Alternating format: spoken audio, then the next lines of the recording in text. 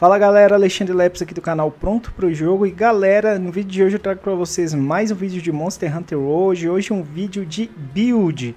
Sim, a gente vai começar a trazer vídeos de builds aqui com alguma frequência, sempre que chegar algum monstro novo, sempre que vai encontrar uma build bacana para estar tá matando algum monstro que é mais complicado no jogo. E bem, eu ainda não tinha terminado de farmar o Arc Temper de Valhazak, né? O pessoal tava falando quanto ele era chato e tudo mais jogando multiplayer. Eu preferi focar em matá-lo no single player. Fiz alguns testes de, de build e eu tava tentando matá-lo de uma forma segura, de forma que eu tivesse quase certeza da vitória. Eu consegui montar uma build bacana, lutei contra o Arc Temper de Valhazak de uma forma muito segura e hoje eu vou estar tá compartilhando essa build aí com vocês, beleza? Essa build de lança e depois eu vou postar o gameplay em um vídeo separado para vocês verem como a batalha foi bacana, como a batalha foi segura e foi legal com essa build. Recomendo que vocês vejam o gameplay depois também, beleza? Basicamente eu matei o Arc Temper de Valhazak com duas armas. Primeiro eu testei matá-lo com a Dual Blade. Eu fiz uma build, eu posso mo mostrar ela como complemento, mas para mim a build que mais se saiu bem foi essa lança que eu fiz. Vamos lá aos detalhes. Usamos aqui o Elmo de Basel Beta, ele nos dá dois níveis de tampão, ele tem dois engastes, né? Um de nível 2 e um engaste nível 1 essa armadura da Imperatriz aqui. Essa armadura eu poderia até utilizar outro peitoral, eu acabei escolhendo ele porque ele me dava a liberdade de ter três adornos ali, né, três espaços para engastes que era necessário para o que eu queria, né, que é uma build de sobrevivência, é mais focada em sobrevivência e ela funcionou muito bem. Eu acabei não usando tanta potion, e me mantive vivo assim com uma certa facilidade, viu? Vocês vão notar depois no gameplay. Então eu acabei escolhendo essa aqui da Lunastra. Ela me deu ali três níveis de engastes. E como eu já tinha o cinturão aqui da Lunastra, vocês vão ver que a gente ganhou uma skill extra também por conta disso, né? Aqui a gente tem o avambraços do Kaiser Rebeta, por conta de um nível aqui da exploração de fraqueza, que eu complemento com as joias depois. Peguei o cinturão da Imperatriz, ela nos dá dois níveis de perícia em ferramentas. Eu foquei pegar a perícia de ferramentas para poder conseguir utilizar os mantos de forma mais rápida, visto que o Arc Temper de Hazak ele tira muito dano. Então você ter os mantos o quanto antes é muito bom para você evitar tomar dano demais. Por fim, escolhi as grevas do Valhazak para me dar dois níveis aqui de resistência a eflúvios e, e mais dois, dois espaços para engastes, né? Para pôr os adornos. Foquei aqui em usar o manto da vitalidade, principalmente para, em algum caso, por exemplo, você está de manto e ele soprou aquele vento, né, que normalmente mata com um hit kill. Se você tiver com manto da vitalidade, ele ainda segura. Então escolhi o manto da vitalidade por isso e o manto temporal, claro que é o manto mais apelão do jogo para você praticamente não tomar dano nenhum enquanto ele está ativo. Usei o amuleto de tampões para conseguir chegar no nível 5 ali de tampões. Dessa forma a gente vai conseguir bater no bicho mesmo quando ele fica rugindo.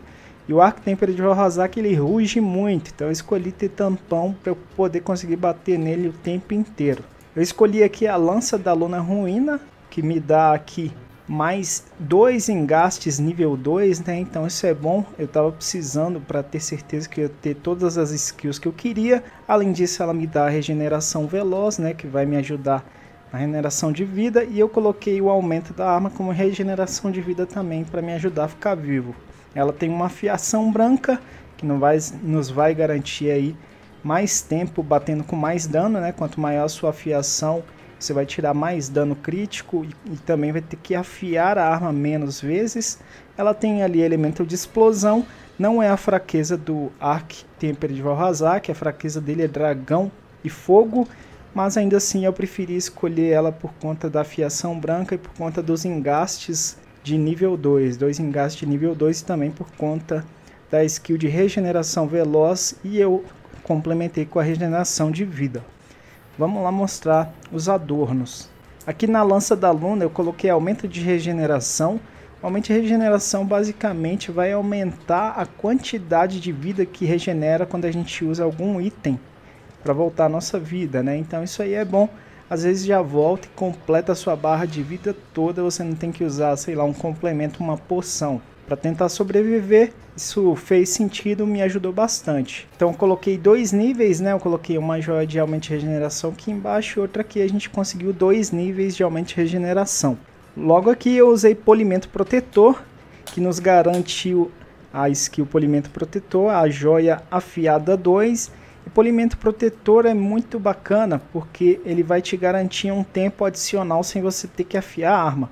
Logo depois que você afia a arma, é como se ela ganhasse um polimento adicional. Se eu não me engano, ela te dá mais ou menos um minuto de tempo para você ficar batendo à vontade sem gastar a afiação da arma. Então isso é bom pra caramba, você vai conseguir bater mais um monstro, tirar mais dano, até começar a perder aí a afiação que é um negócio chato, né? Principalmente nesses Arc Temper, de você parar para afiar a arma, é um negócio que é arriscado, você pode acabar morrendo. Quanto menos você afiar, menos o risco de vida. Então, eu dei sorte, essa joia eu ainda não tinha ela, consegui ela lá na velhinha, fundindo alguns dos meus itens, eu consegui polimento protetor ontem, então já coloquei nessa build e caiu como um ouro. Vamos para a próxima aqui na refeição grátis, é a joia da saciedade. Ele só precisa de um nível e basicamente ele tem 25% de chance de economizar um item que você usou, né? Então se você está usando ali Mega Potion, você tem 25% de chance de economizar aquela Mega Potion, aquela Max Potion, qualquer item que você utilizar, isso aqui ajudou demais, galera. Ajudou eu não ter que ficar voltando no acampamento, porque economizou bastante os meus itens. Vocês vão notar isso quando vocês assistirem o gameplay que eu fiz com essa arma, que vai sair em um segundo vídeo, beleza? Reforço de vida eu coloquei três níveis. A joia da vitalidade coloquei uma aqui no elmo, outra na armadura imperatriz e outra aqui embaixo nas grevas, né? E aí você vai ter maior barra de vida e você pode melhorar isso ainda colocando na sua refeição de repente mais um pouco de vida também, deixa a sua barra de vida já mais interessante, ajuda a sobreviver. Aqui eu fiquei meio sem opção. Aqui você poderia colocar outra coisa. Eu escolhi colocar uma joia de explosão para reforçar um pouquinho o dano de status, apesar de não ser a fraqueza do Ark Valhazak, mas eu coloquei uma uma aqui porque acabou sobrando esse espaço, beleza? Então deu apenas um nível ali de ataque de explosão, que basicamente vai aumentar aí, ó, 5% e mais um bônus de 10 no, no ataque de explosão, beleza? Então, é o que tinha, isso aqui você pode colocar outra coisa se você quiser, alguma coisa para afiar mais rápido, se você não tiver polimento protetor, né? Você já conseguiria, por exemplo, dois níveis de afiação, isso aí vai variar dependendo das joias que você tem disponível. Joia atenuadora tem que colocar, né, para complementar ali exploração de fraqueza, aumentar a sua afinidade da arma, consequentemente tirar mais dano crítico. Essa aqui é, é a skill que mais aumenta o dano crítico que você tem, é essencial em qualquer build. Então tem que ter exploração de fraqueza, beleza? Isso quando ela está no nível 3, ela vai aumentar em 50% aí a chance de você dar dano crítico. Perícia em ferramentas aqui eu coloquei para completar três níveis e ele vai reduzir aí o tempo de reutilização dos mantos aí em 20%. Então vou ter que esperar menos tempo até o meu manto de vitalidade e o manto temporal voltarem. Vai me garantir maior chances de sobrevivência. Isso aqui foi essencial também, ajudou demais como vocês vão poder ver no vídeo. Resistência a eflúvios, faltava apenas um slot para completar total. Coloquei aqui, completei. E a resistência de eflúvios vai garantir que as, o seu life não caia e fique lá cerca de 20, 30% do tamanho real por conta do dano de miasma que o Ark Valhazak, ou na verdade o Valhazak causa por padrão. Então é essencial a resistência de eflúvios se você for lutar contra o Valhazak. Pelo menos nível 2. Ela está no nível 2 já garante muito. Se ela tiver nível 3 é 100% que a sua vida não vai cair. Caso caia, você pode, se você estiver usando nível 2 por algum motivo, você pode utilizar Nula Fruta para curar o dano de miasma e, e consequentemente voltar. Beleza? Então essa é a nossa build de lança de sobrevivência contra o Ark Valhazak. Eu até vou testá-la com outros Ark Tempered depois, fazer algumas modificações. Se eu gostar aí contra a Lunastra, por exemplo, eu posto as modificações aí para vocês. Vou mostrar rapidamente a Dual Blade que eu fiz também, que eu venci ele antes de fazer essa que eu considerei mais segura. Vamos lá. E essa aqui, rapidamente, essa eu vou passar de forma mais rápida para o vídeo não ficar longo. Mas basicamente era tinha um conceito parecido, né? Eu tentei manter tampões para eu bater enquanto o monstro fica gritando. Completei com reforço de vida, exploração de fraqueza, comer rapidamente, resistência de fluidos. Boa parte das skills vocês veem que é a mesma daquela build de lança. Mantive peri a perícia de ferramentas também no máximo. E a diferença aqui é que eu mudei o peitoral e coloquei a armadura do Ner Gigante, que me deu aqui dois níveis de surto e vigor, um engaste nível 2 e um engaste nível 1. E com isso, com o surto de vigor, a minha estamina voltava muito rápido, então eu poderia continuar dando os combos da Dual Blade no Arc Tempered de Valhazak, né? Eu consegui ainda fio navalha com a Dual Blade da Luna Stige, que é uma, uma skill dela mesmo, né? Já vem a fio navalha, que vai garantir aqui reduz a perda de afiação em 50%, então você vai bater por muito mais tempo com afiação de dano branco, que já tira dano maior, né, maior dano crítico por si só. Tinha o amuleto ali, o aumento de regeneração de vida, mas se você for utilizar essa build aqui que eu estou falando da Dual Blade, ela também é boa.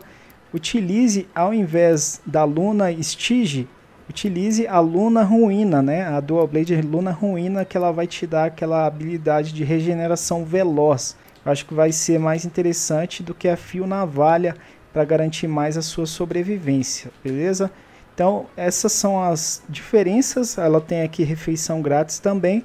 Consegui matar duas vezes inicialmente o Arc Temple de Valhazak com essa build aqui, porém eu, eu achei que em alguns momentos ela era um pouco insegura, você tem que tomar muito cuidado porque o Valhazak ele gira bastante no que você tá ali debaixo da barriga dele batendo, às vezes você toma dano como você não tem escudo com a Dual Blade, então você tem que ter um time muito bom da hora de sair correndo, na hora que ele joga a fumaça no chão, que é aquela fumaça que tira dano, você sair de perto e depois voltar para continuar batendo.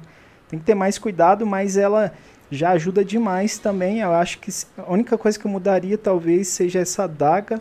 Colocaria a da Luna Ruína, a adaga Luna Ruína, que tem aquela regeneração veloz enquanto você bate no monstro, né? E aí isso ajuda a ir recuperando mais a sua vida e garante que essa build aqui seja boa também, beleza? Então essas são duas builds que eu queria trazer para vocês. Espero que vocês tenham gostado desse vídeo. Se chegou até aqui, não esqueça daquela voadora de dois pés no like, que ajuda demais aqui o canal. Repasse para outros amigos que ainda não conseguiram farmar o Arctemper de Valhazak. Vai ajudá-los a farmar de forma segura. No mais é isso, galera. Vou ficando por aqui. Espero ver vocês nos próximos vídeos. Um forte abraço, valeu e fui!